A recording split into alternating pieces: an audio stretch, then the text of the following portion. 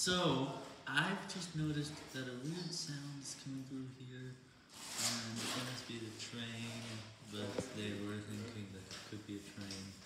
I'm not really sure what else it could be, if it's not. See, you heard it.